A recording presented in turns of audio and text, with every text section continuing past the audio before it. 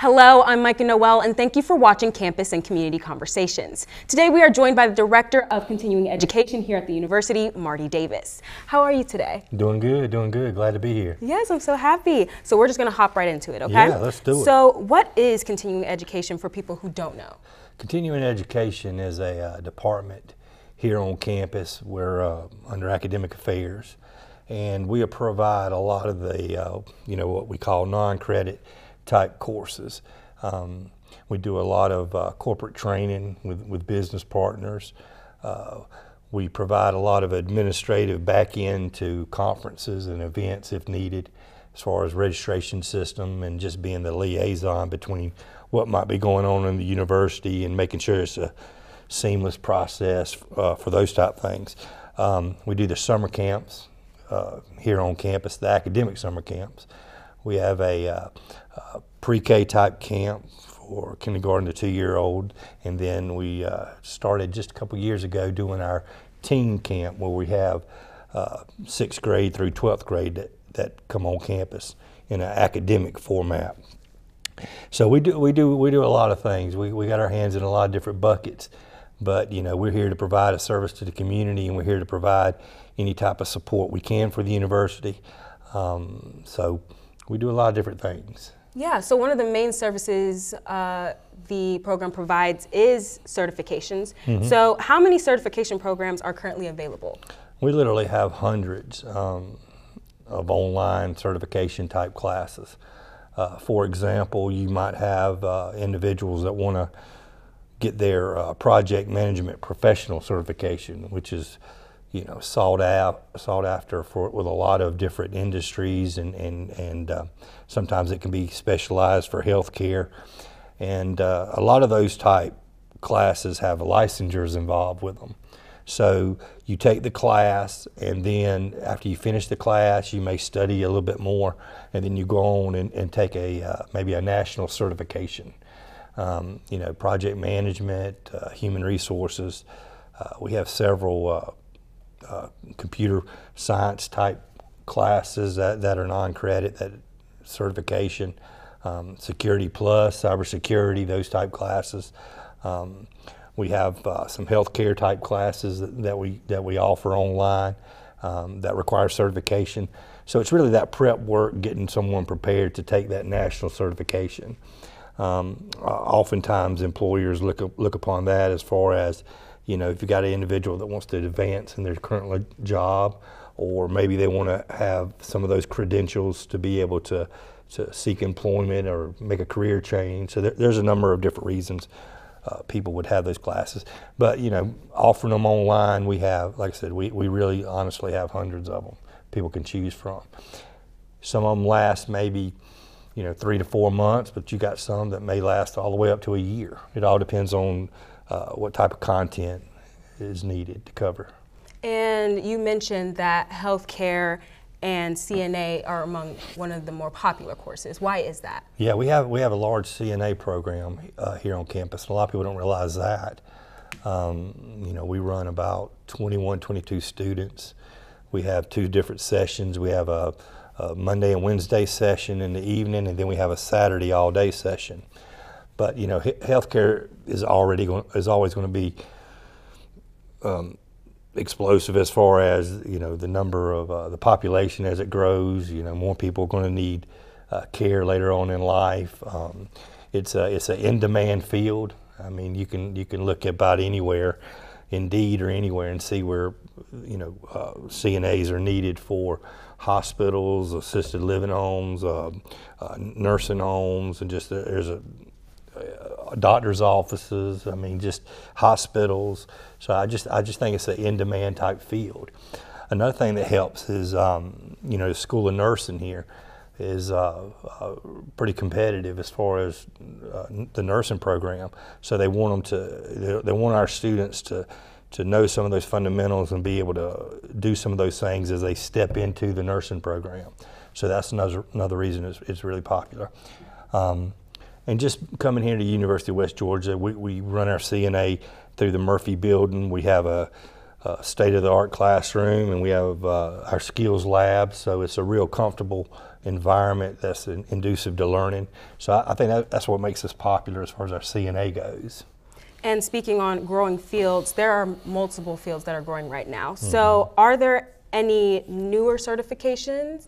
And if we do have newer certifications in progress, how how are they built? If that makes sense. Well, uh, yeah, right now we're we're we're looking at you know what can we do for adult learners, and if I go back a little bit, you know, continuing ed historically, that's who we bring in is, is, is adult learners. There's a lot of people out there that may have uh, a year of college or maybe a two year of college. I always use my mom. You know, when I when I was younger, she went back to school and we happened to have some of the same classes together um, going back. But she never finished. She, mm-hmm. she went two semesters and she never finished. There's a lot. There's a lot of people out there that are that are in that situation, and you know they might be looking for a career change. Uh, people are working longer, so it's an opportunity to earn more money toward retirement. They might be looking for a change. So right now we're looking at at, at, at bringing in some of those uh, uh, students, those adult learners, and I say that because you know, we're working on programs now, non-credit kind of classes, where people can go in and, and it's called micro-credentialing. You know, you take uh, certain classes in a short period of time and they build up towards something bigger. Um, so we're, we're working on a web development type class that's more of a micro-credential type class where you take three classes, each class lasts six weeks, and we're working now with, um, uh, with other uh, partners here on campus is like if you're an adult learner and you came in and took that web development class, you know, how does that translate into maybe uh, credit hours? And uh, uh, maybe people would get uh, excited about going back to school, realizing they could do it, realizing that online is not that scary, realize that, you know, going to school is not that scary. Um, oftentimes I, I, go back and, and look at myself as being an adult learner because, you know, I didn't go back until later on in life to get my graduate uh, degree. I had two kids and had a full-time job, and I had to, you know, find a program, but and, and, made a career change and totally different than what I used to do. But I think down the road, you're looking at technologies changing. You know, you hear these different things like Bitcom, uh, Bitcoin, and, and, and cybersecurity still a, a big thing, but um, times are changing, so there'll be new programs to be avail- uh, available to meet the, some of those challenges. Yes, and I would like for you to speak on the Leadership Certificate Program. What is that? Yeah, we started that probably uh, probably a year ago, and we put together five or six courses. Uh, maybe uh, you know one of the courses may be named uh, uh, uh, being an authentic leader. Um, they're geared toward that mid-professional, maybe entry-level supervisor or it's just a set of six courses that you can come on campus and take.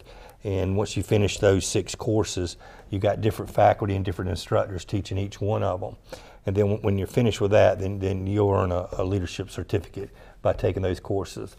And when we first started it, you know, a lot of times, sometimes in continuing ed, you, you come up with some programs and you market it and you hope it does well that one did really well. I think we had about 18, 19 students in that. They were all adult learners.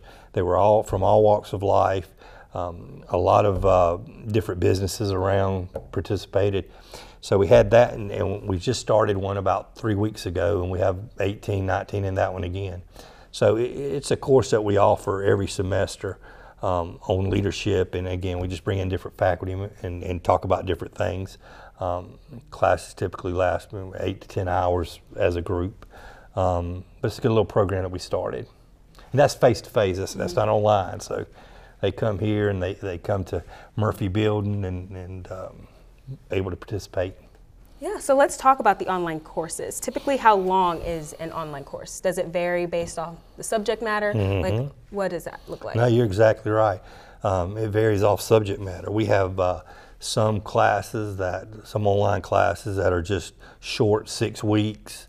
Two lessons are dropped a week and, and, and, you, and you build up to it. And then we got some that last uh, you know again almost a year as far as how long you take. And, and you're, and you're right it has to do with the subject and the, um, the content the material this you know. Um, if I just wanted to learn some fundamental, basic uh, management skills, then I might take a smaller type class online. But if I'm, I want to take some type of national certification or I want to really dig deep into it, or maybe there's a career that calls upon me to uh, dig a little deeper into it, then I can take some of those. And, um, and you know, and they, they range from price, uh, d- depending on the content and what you get out of it. Um, one thing that, that I think separates us different from other programs is, is that even though it's online, we still have people in the office to be able to answer questions. Uh, you know, people still have trouble logging in. People still have trouble accessing content sometimes. But one thing that sep- separates us is we we have people in the office to be able to help with all that to make sure that it's, it's just a smooth process from start to finish. So, as a continuing education participant, do they have access to university resources like tutoring? And if so, what other resources do they have access to? You know, typically not. It- You know, it's, it's non-credit. They come in under a, a non-admission type um, scenario. There, there's not any additional fees uh, to be paid or anything like that. But, you know, depending on the class and depending on how the program, uh, they typically have access to faculty who come in and teach. You know, we got a lot of good faculty here with, with, with years of experience, uh, both in the private setting and the educational setting. But if there are programs that are designed to touch upon some of the highlights here at the university, then, then we may incorporate some of those things.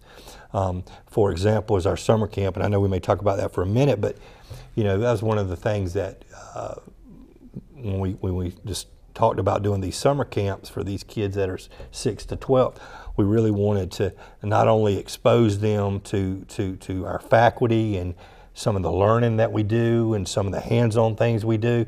We wanted to also expose them to what we have here at the university because a lot of people don't know what we have. You know, we've got access to uh, uh, the virtual lab here. We have access to, to, to the campus center, which is a beautiful building. Um, uh, course, we all enjoy the dining hall, you know, when we get in there. So, so we have all these things here at the university that we want people to know about. Um, you know, there's a lot of people that just don't know we have stuff. So, you know, when we have an opportunity through continuing ed uh, to showcase the, th- the different uh, uh, areas of the university, we, we certainly would do that. Yeah, so you talk about showcasing different areas of the university, and you've been dropping hints here and there about the youth programs or the youth camps here. So, how long have the youth camps been a part of continuing education? Well, we've always had the um, the younger uh, camp, the K through uh, maybe two years old, three years old. We've had that for as long as I've been here, and even before that. And um, and, and it's usually kids that may have gone through the pre-K here at the university, and then given them opportunity to be here. But in the last couple years, our focus is, has our focus has been on showcasing the university to some of uh, some of the teens and uh, letting them see what we have to offer. Um, oftentimes, you know, maybe with you and, and, and myself and, and, and others, you know, you only really get to see the university when you come and visit, when you come and, and, and go through the admission process and stuff. Let's go ahead and show it to them. You know, let, let's get them while they're young and, and let them come look at what we have to offer. And, uh, you know, it, it, it, it's kind of funny. Um, when I, when I was in high school, I'm from South Georgia. I, mean, I don't know if you can tell, but, but I, am from South Georgia. And um, I remember in ninth grade coming up here to a debate tournament. And, and, and I remember walking around campus, and that was the first time that I'd ever been on a college campus was in ninth grade for that debate tournament. And uh, I remember walking on campus and, and, and thinking how cool it was. Now, of course, as I got older, I might have visited other schools, but, but I remembered West Georgia from ninth grade coming up here to that debate tournament. And, um, you know, that, that was the only time I've been here, but, but first time I'd been here until I came back and started working here. So those are the type of things that, that I think we're trying to do with some of the summer camps is showcase our faculty, showcase some of the hands-on uh, things that we do here. The the you know the biology building is a cool little place to walk through and being able to see those things and being in the chemistry department and and, and you see I guess they're still called Bunsen burners or whatever and they're all they're going so, so all that stuff's pretty cool so we want to bring them on campus let them see it let them get that feel of what it's like being here and uh, you know hopefully in the long run it pays big it pays dividends as far as them maybe wanting to come back and, and, and, and, and be a wolf. So, what programs can teens be a part of throughout the youth camps? Oh gosh, that, yeah, that's our faculty has been really, really good about uh, giving some of their time and to lead some of these programs. Um, for example, you know, we've had uh, faculty in the art department and um, you know, showing them how to do the old screen press where you put down a piece of paper and pour the ink on the, and you know, make make cards and, and, and do stuff like that. Um, we have a uh, forensic camp where, where you, you know it doesn't get doesn't get messy, but you know it shows them what goes on behind the scenes. You know, like a blood splatter and liquid, and how far it's supposed to splatter and how far it doesn't splatter, and being able to uh, determine. You know, the, it's usually like forensic science is usually like a who done it. You know, who done it yes. type theme when they come in on that Monday and they learn to use some of the equipment in there, and um, you know, uh, I, th- I think they study fingerprints, you know, how do people do that? Just real hands on stuff. Um, we have a, uh, of course, you know, the favorite camp I think is esports camp. Um, uh, Dr. Uh, Joe Lee does a great job uh, with that program, and them kids come in and, and uh, you know, typically toward the end of the day when they're winding down, they typically wind down toward the end of the day, but they stay in that esports camp. And here's something that's pretty cool when we talk about showcasing what we have at the university. Um, that first year we did esports. You, you know, when you play some of those games, it's pretty much worldwide as far as you know who you're playing with and stuff like that. But Joe actually found a esports camp going on in Virginia, and they had arranged Friday to play each other. so they were so they got to play some of those games with another sports camp going on in Virginia. So, so stuff stuff like that's pretty cool. I mean, typically that stuff wouldn't be set up at home or some of the other camps that they may participate in. So, it's things like that. Uh, you know, being able to showcase uh, those activities there. Yeah, so not only do you have programs for the teenagers, but you also have programs for third through fifth graders. Hmm. So, what can parents expect for their children for those camps? Athletics does a great job in, in having some camps. Um, they're all sports camps where they bring in some of those kids and uh, burn off some of that energy and participate in games and activities and and um, and, and the, you know you would think they're pretty young, but they still is still part of showcase, showcasing the campus. I mean, those kids are going to remember being here and, and doing the things they do and playing the games and eating in the dining hall. I mean, they're going to remember all those things, you know, throughout their life. And it might be a handful of them might say, hey, you know, you remember that time I did that camp at West Georgia? I think I want to go back and go take a look. You know what I'm saying? So, so it's those kind of things, and um, so there's activities uh, for the, for the younger kids and for them to be exposed. Um, uh, the uh, archaeology program that we've got. You know, we even the younger kids get to go down there and look at some of that stuff, and it's like being in a museum, really. Mm-hmm. You know, when you see some of that things. So we we uh, provide uh, some of those programs too for for the young younger kids. Yes. So, is there anything in the near future that people can look out for? Um, for this program. I heard you guys are going to be involved in Winter West festivities very yeah. soon. Can you talk about that? Yep, yep. Well, we'll we will help with uh, Winter West this year. And one thing that we are helping with uh, particular is we're going to have a few faculty member there, faculty members there doing some demonstrations um, on a few of the nights. Last year we had um, uh, a gentleman from the art department who did uh, showed how to do the old clay pottery. You know how to how to turn the clay into pots, and uh, I can't remember the official name for it, the round table that spins. But we had that. Um, we had some um, uh, uh, uh professors from the um, science department who uh, you know, made snow and dry ice and some of that, th- some of those things. Um, we what else we had? We had um, uh, archaeology came down there, and um, they made these. Uh, I don't know these necklaces that that that may have been worn, you know, hundreds and hundreds and hundreds of years ago. But they did them in a holiday theme where they were, you know, uh, I think they're called gro- groglets or gro- I don't know. I'm going to have to figure that out. But they came, so we'll have faculty there showcasing during Winter West uh, some of the things that we do.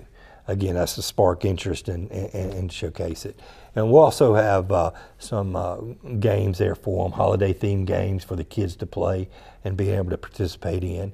Um, so they'll be able to come come and do that. Um, we will have a faculty member making some Victorian style stockings, things that might have been, you know, shown years ago. Uh, she'll be making some of those and showing uh, the community how to make some of those things. So again, that's just a showcase to show our faculty, show the hands-on learning we do, and just show the cool things that, that go on at West Georgia. Wow, that sounds amazing. It is. It was a big. It was a huge crowd last year. Hope we have a huge crowd uh, this year. Um, you know, uh, we had a snow machine going last year, and uh, somebody named Santa, I think, you know, will be there. Santa. Yeah, I think he'll be there. But um, it's just it's just an opportunity for the community to, to come on campus and, and you know the art department they make some of the ornaments that you see out there that are that are lit up and have the lights.